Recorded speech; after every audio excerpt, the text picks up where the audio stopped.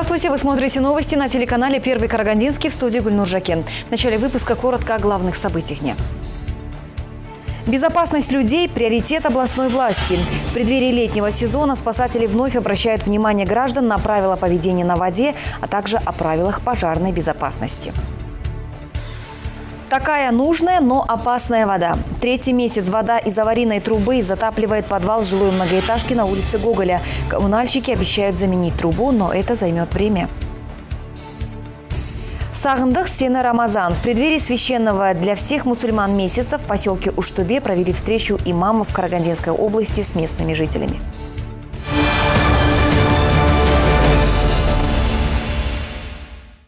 18 миллионов тенге при ставке вознаграждения 6% годовых. Такие условия предлагаются самозанятым и безработным гражданам для организации собственного бизнеса. Областное управление предпринимательства рассказало о результатах реализации программы продуктивной занятости и развития массового предпринимательства. Развитие массового предпринимательства на сегодня – это главная программа, реализацией которой занимается областное управление предпринимательства. Направлена программа на самозанятых и безработных граждан. Для них проводят семинары-тренинги и помогают в получении микрокредита для запуска новых микропредприятий и расширения существующего бизнеса, а также создания новых рабочих мест. Максимальная сумма микрокредита – 18 миллионов тенге. Ставка вознаграждения – 6% годовых – это льготная ставка в сравнении с коммерческими банками. Срок кредитования для инвестиционного займа составляет 5 лет, на пополнение оборотных средств 3 года. Гарантии фонда «Дому» будут предоставляться для действующего бизнеса до 50% от суммы кредита и до 85% для начинающего предпринимателя – Однако на сегодняшний день реализация программы приостановлена, тормозят процесс банки второго уровня. По их просьбе Министерство труда и соцзащиты населения вносит изменения в программу в части изменения эффективной ставки вознаграждения на номинальную. Предварительно изменения будут приняты в июне. После этого деньги станут доступны для желающих получить микрокредиты. Докладывала руководитель управления и о разъяснительной работе среди населения. В городах проведены многочисленные семинары, однако глава области – раскритиковал этот фронт работы. Люди задают вопросы. Вы сами были, вот здесь коллеги многие были в Каркаралинском районе, опять же. У меня по Каркаралинскому району очень много вопросов, но один из них предприниматели не знают. Не знают. Они выходят на трибуну и задают мне вопросы по залогам, по другим, какие механизмы, льготы есть по линии домов.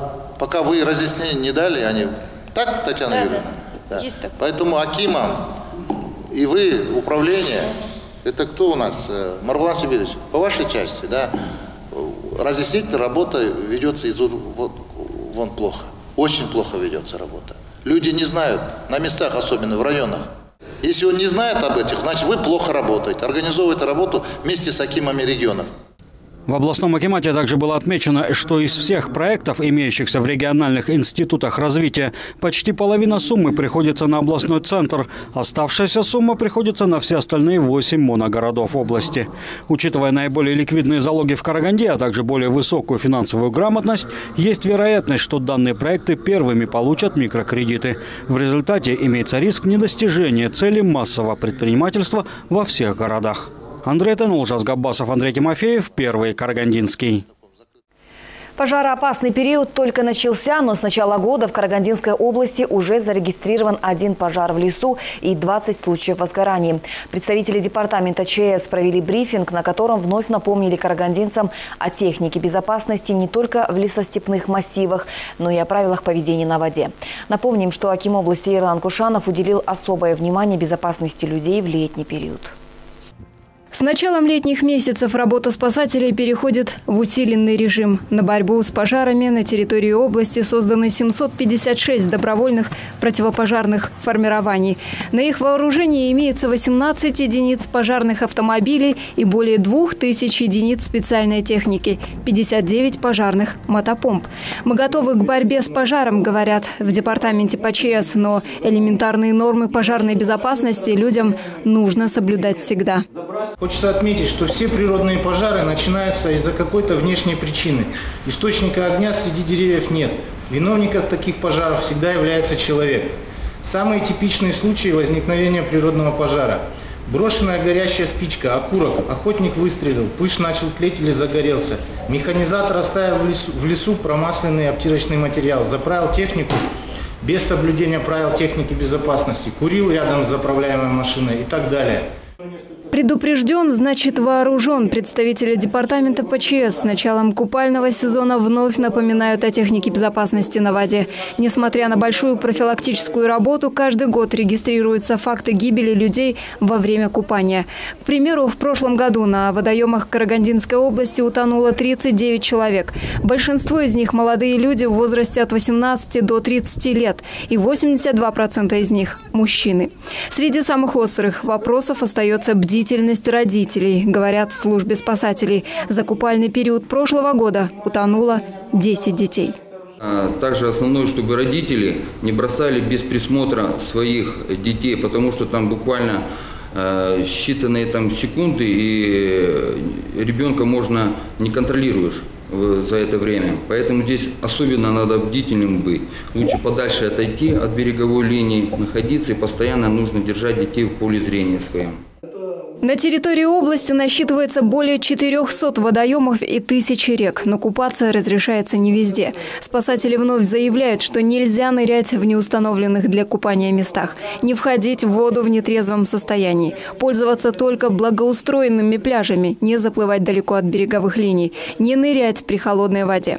Ведь безопасность человека зависит не только от спасателей, но и от бдительности самого человека.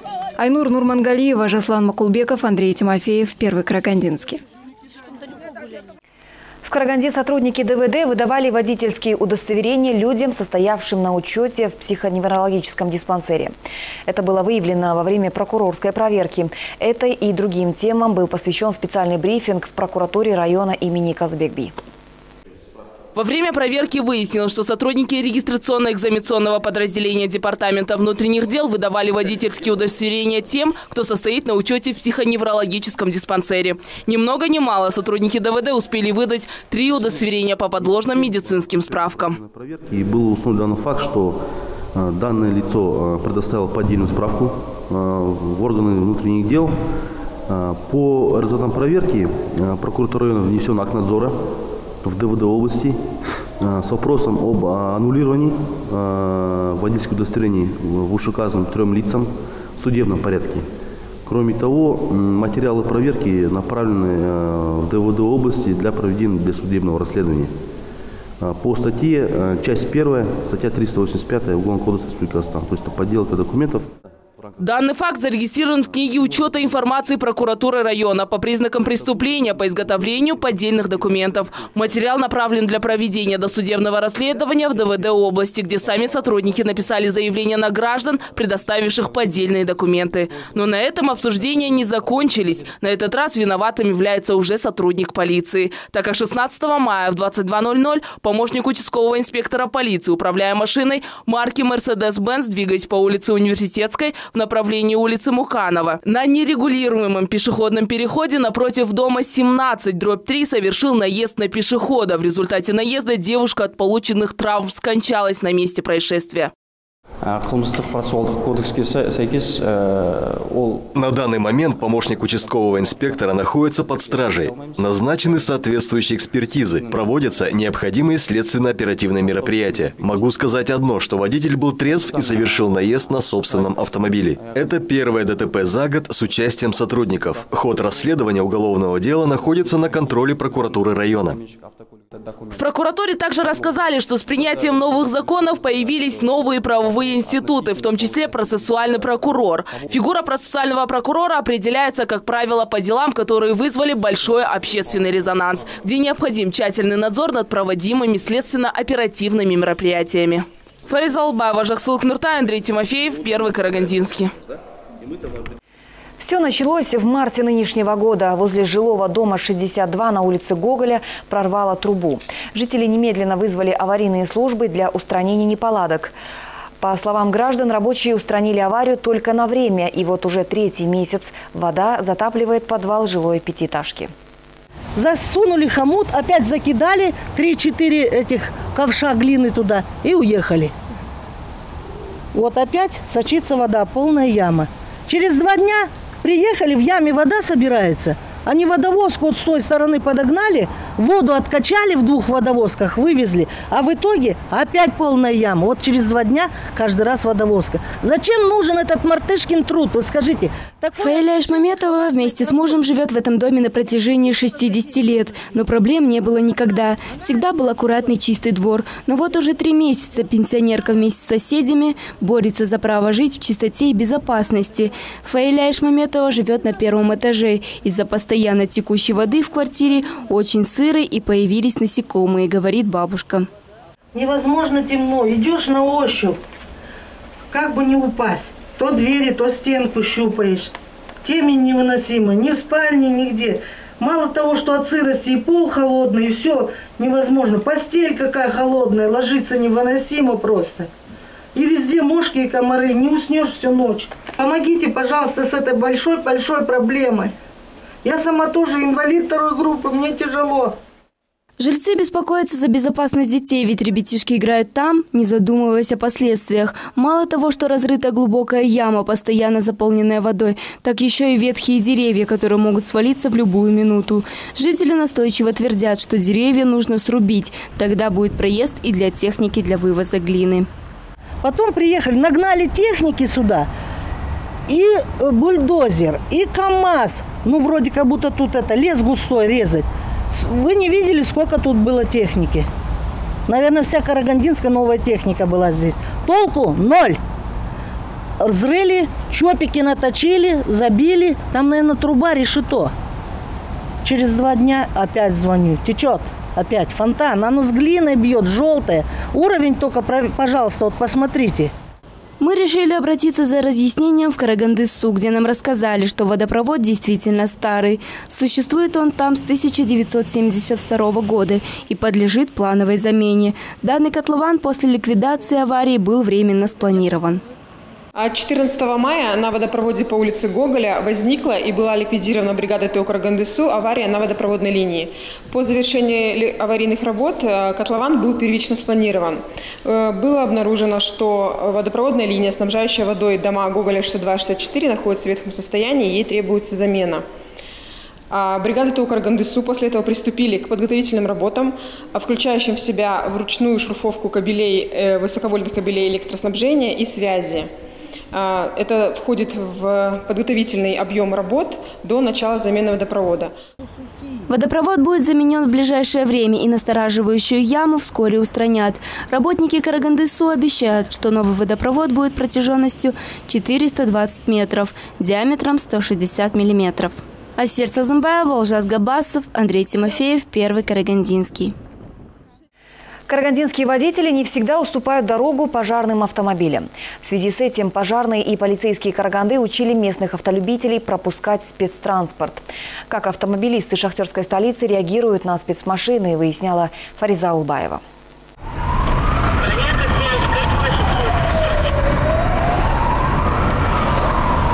Сотрудники противопожарной службы и местной полиции организовали рейд «Пропусти пожарную машину», призваны повысить культуру карагандинских водителей. Последние неохотно пропускают автомашины экстренных служб. Тем самым они усугубляют положение пострадавших. А ведь в правилах дорожного движения специальным пунктом прописаны преимущества для автомобилей экстренных служб пожарные части выезжают на пожары, и у нас трудности создаются с помехами со стороны движение личных автотранспортов. Это особое касается легковых автомобилей, которые на основных перекрестках э, основное время, вот час пик у нас утреннее время, когда люди на работу с работы или вечернее время, когда загруженная автодорога, угу. бывает у нас не уступает дороги нашим автоцистернам, которые двигаются с включенным маячком на пожар. Пожарные и патрульные автомобили проехали по улицам областного центра. Звуковые сигналы были включены специально для проверки бдительности водителей. Дорогу спецмашине, якобы спешащие на пожар, уступали многие автомобилисты, однако делали это не все. Даже одной машины достаточно, чтобы задержать пожарный расчет на драгоценные секунды. А я не имею права ехать на запрещающем светофора. Конечно, я обжалую. Что это за дела такие? Вы подъезжаете с правой стороны, я вижу прекрасно, вы Были водители, которые не слышали или не хотели слышать сирену. На этот случай за пожарной машиной следовали полицейские. Нарушителей наказывали. За час сотрудники полиции составили три протокола. Штраф за такое нарушение составляет 15 месячных расчетных показателей. Стоит отметить, что не реже автолюбителей дорогу пожарным не уступают и пешеходы.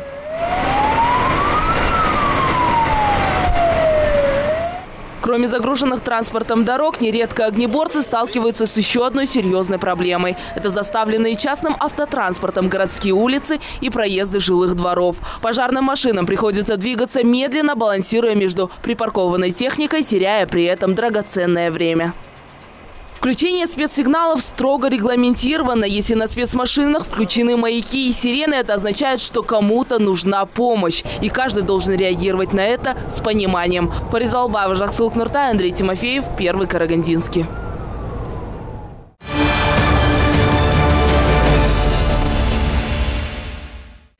К другим новостям. Более тысячи участников демонстрировали свои таланты на четвертом международном фестиваль-конкурсе «Тулга». Победители определены в пяти номинациях. Организаторы заявили, что интерес у молодежи к этому конкурсу растет с каждым годом. Айгири Махмеджанова вместе со своим коллективом приехала из Кукчетау. Девочка два года занимается в инструментальном ансамбле «Карлыгаш». На конкурс приготовили номер игры на кубызе. А, мы сегодня исполняли произведение Карлага, ой, э, произведение Попури. Э, мы к этому конкурсу готовились примерно два месяца. Жанат Камутов в качестве жюри конкурса участвует второй раз. С каждым годом талантливых детей, желающих участвовать на конкурсе, становится все больше. Такое количество участников радует, признался Жанат Камутов.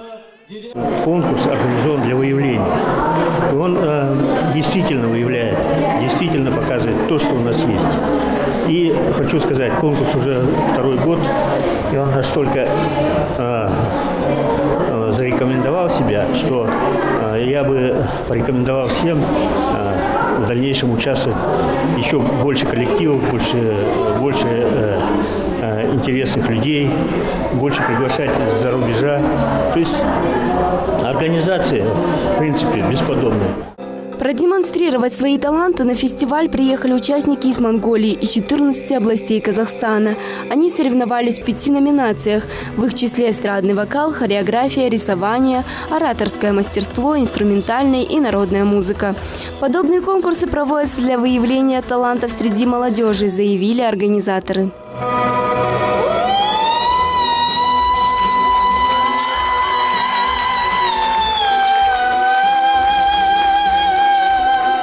Асель Сазамбаева, Жара Гибаева, Жаксулут Нуртай, Андрей Тимофеев, Первый Карагандинский.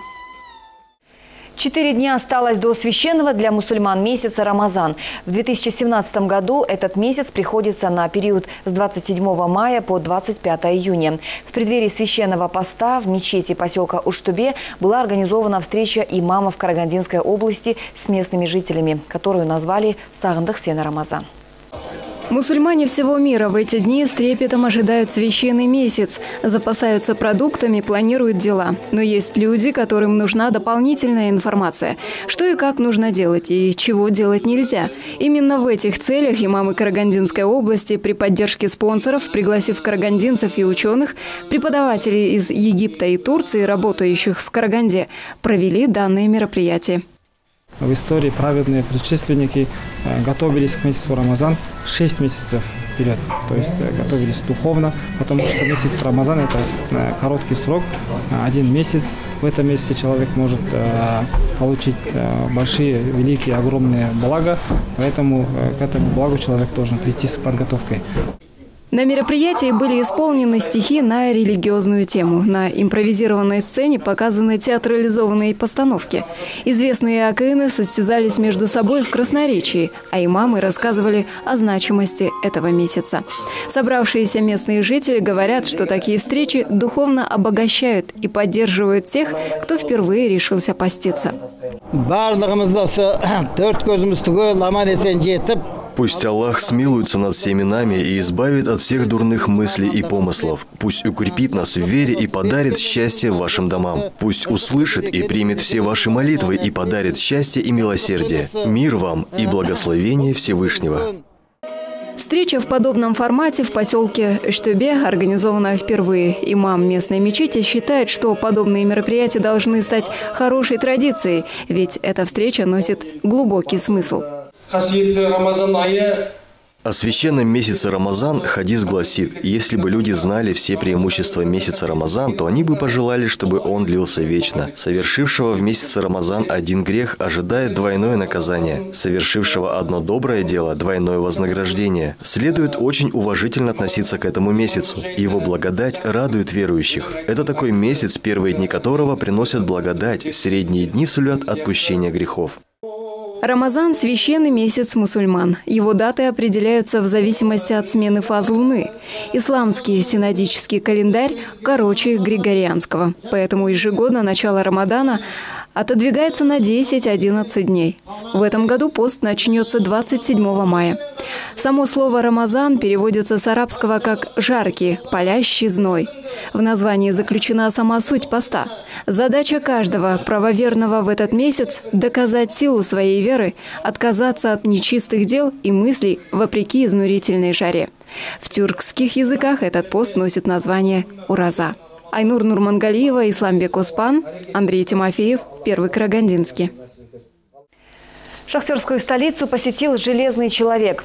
Жениспек Кадырова йог. Холодное оружие его не пугает. Он запросто может вонзить в себя нож или же нанести несколько порезов, не почувствовав боли. Железный человек. Именно под таким псевдонимом выступает Жениспек Кадырова. Нам удалось пообщаться с ним лично и узнать много интересного.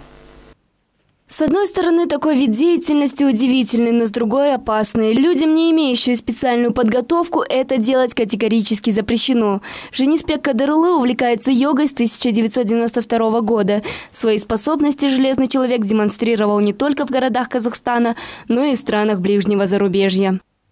Бұл дарын негізі біздің у казахского народа это в крови. Наши предки были мужественные и сильные. Я считаю, это божий дар. Это опасно, но для меня это уже как образ жизни. Этот дар дается с детства, просто нужно его развивать правильно. Живет железный человек в Павлодаре. Несмотря на большой опыт, Жениспек Кадырулы все же соблюдает правила безопасности. Асель Сазамбаева, Олжас Габасов, Андрей Тимофеев, Первый Карагандинский.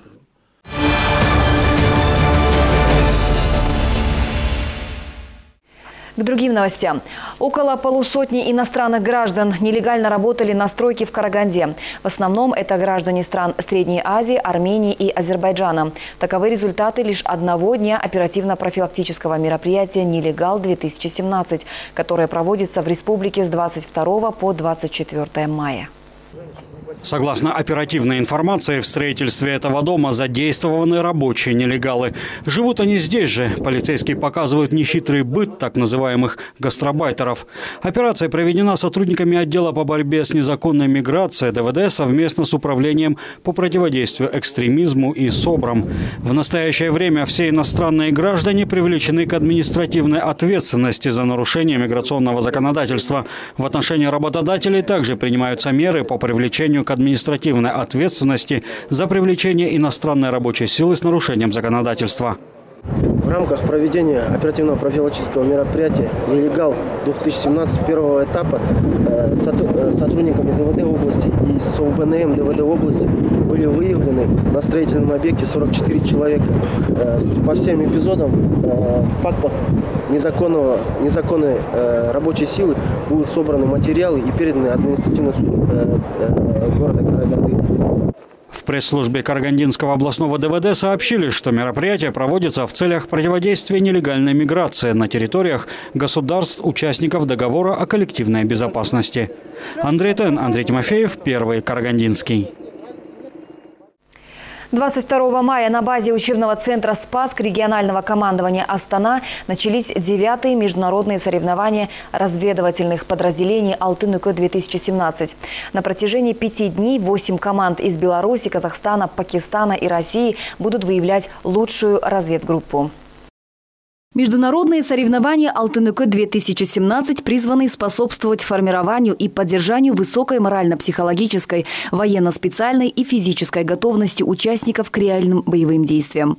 Каждому военнослужащему требуется проявить повышенную выдержку и меткость. Спецназовцам предстоит пройти 10 этапов, на протяжении которых будет определен уровень работы командиров разведывательных подразделений, стрелковой и полевой выучки военнослужащих, готовности к отработке задач в сложных условиях, а также выполнение различных профессиональных приемов. В качестве наблюдателей в текущем году присутствуют представители Азербайджана, Монголии, Индии и Турции.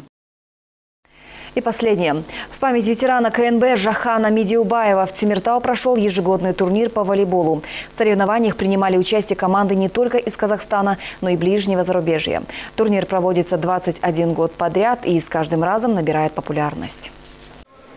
Почтить память ветерана КНБ полковника Жихана Медиубаева приехали волейболисты не только из Казахстана, но и из Новосибирска, Бишкека, а также сборная команда Узбекистана.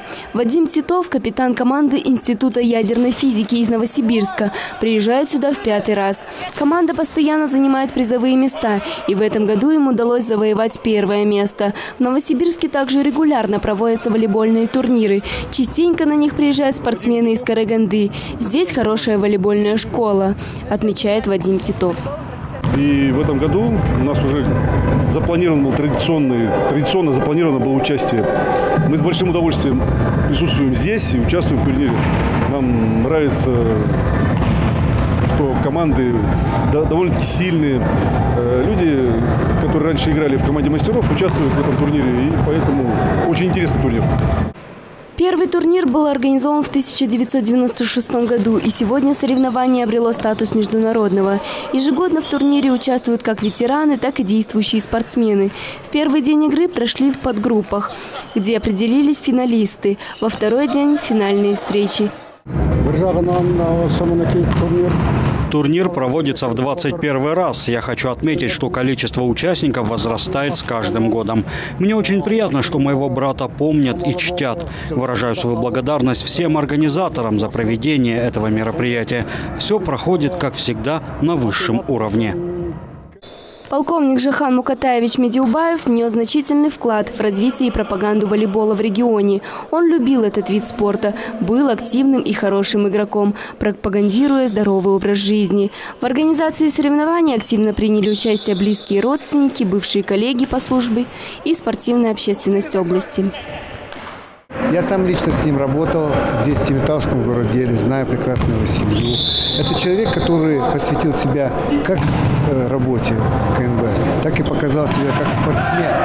Все время э, занимался различными видами спорта. Он активно боролся за то, чтобы поколение и все подрастающие как можно больше занимались спортом. Он показывал пример. Независимо от того, какому возрасту он не был, он объединял и организовывал. По итогам соревнований первенство одержала не только команда из Новосибирска, но и молодая команда АМТ «Тимиртау». Среди победителей также расположились команды из Бишкека и Астаны, занявшие третье место. Все победители и лучшие игроки были отмечены специальными сувенирами с портретами Шахана Медиубаева, кубками и медалями. Асель Сазымбаева, Исламбек Аспан, Андрей Тимофеев, Первый Карагандинский.